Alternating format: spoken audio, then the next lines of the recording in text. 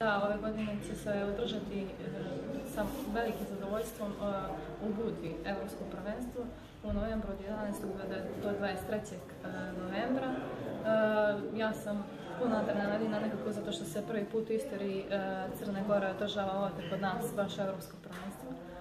I pripreme, pripremamo se baš dugo zbog ove situacije Evropsko je trebalo još da se održi u aprilu, ali zbog ove situacije sada, zbog covid se malo, datum se malo produžio.